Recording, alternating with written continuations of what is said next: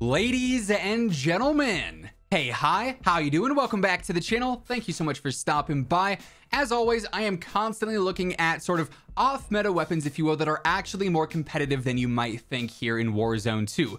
And recently I was looking at a lot of the rifles and comparing their TTKs and noticed that one in specific is particularly good in the close to mid-range and not so great in the long range. So I got to thinking, could this be an alternative to some SMG loadouts? A lot of the SMGs are very competitive right now. Obviously, they've got the speed going for them, but their damage is all a little bit, uh, you know, in the mid tier, and that's all of them kind of bunched up together. Hence why that, uh, you know, category is so competitive.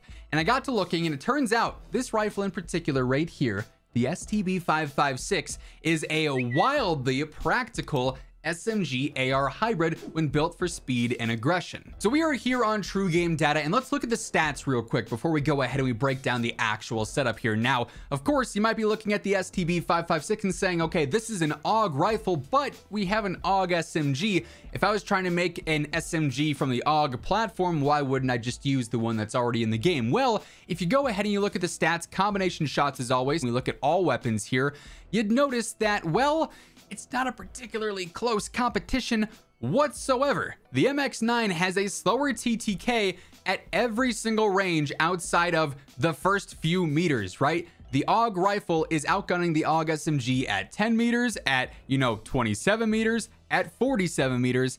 It is clearly the better choice. So now let's go ahead. Let's look at the STB 556 and compare it against actual meta SMGs and not just the MX9. So now we got all these lined up. And here, of course, we've got the STB 556. I know, crazy, right? Uh, we got the Vaznev, great close range TTK. The Vel 46, this and the P90 are kind of like the same gun when it comes to TTK stats, both two top tier options right now. The MP5, great close range TTK. And the BAS-P surprisingly good close range and in the mid range.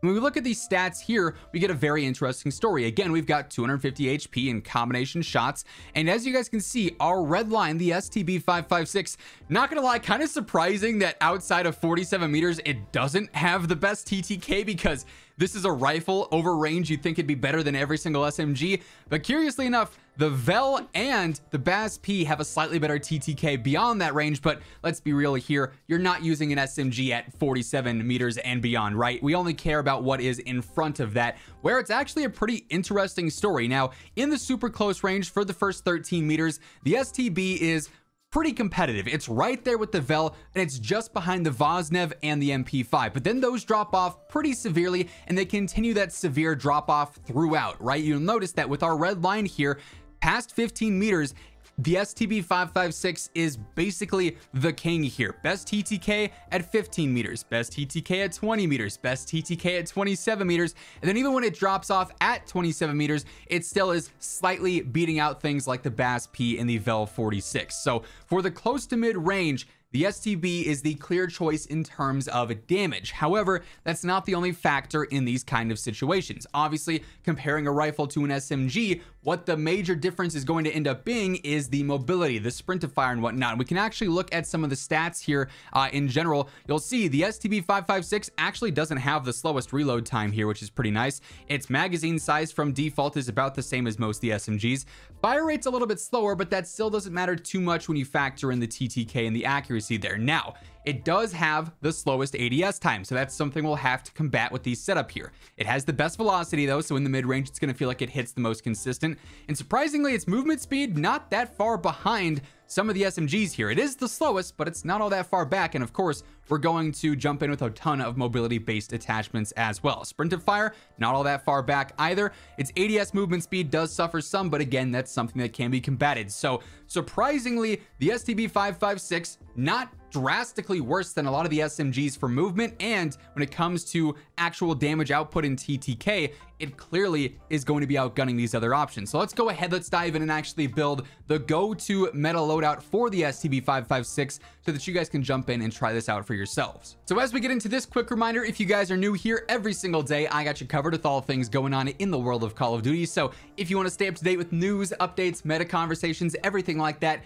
feel free to hit that subscribe button and turn on those post notifications. And if you guys enjoy the video, let me know by dropping a like on it as well. It would be seriously appreciated. Also, quick shout out to my friends over at Gamer Advantage. Of course, you guys always see me rocking the Horizon frames whenever we got a face cam video going on here on the channel.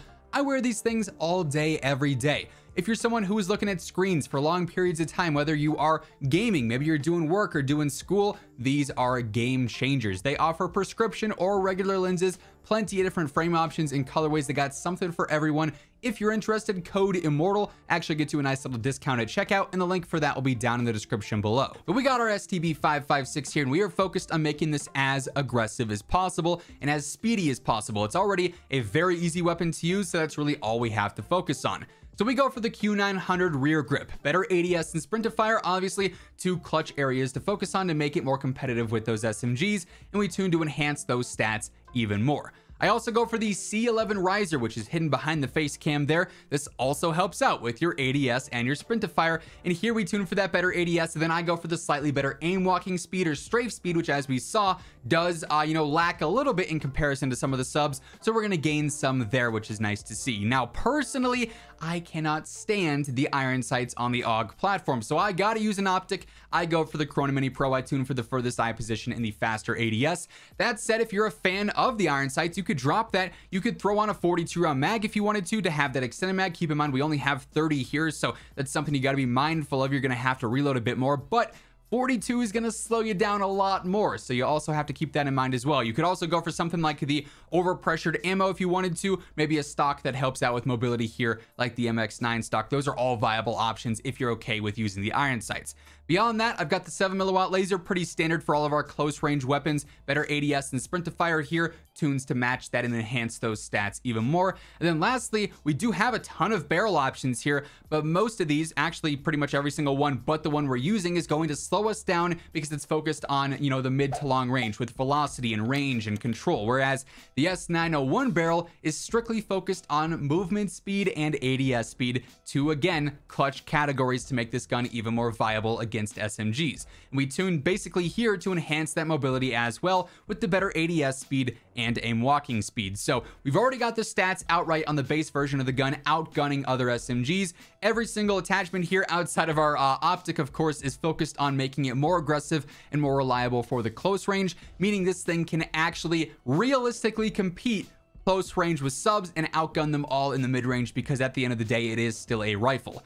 And that being said, that is the go-to STB 556 loadout right now. In my opinion, that's going to wrap things up. If you guys enjoyed the video, let me know by dropping a like on it. And if you're new here, feel free to hit that subscribe button, turn on those post notifications. That way you can always guarantee you are always up to date with everything going on in MW2, Warzone 2, and DMZ. But once again, thank you so much for tuning in. And until next time, take it easy, have an awesome rest of your day, and I will catch you guys later. Peace out.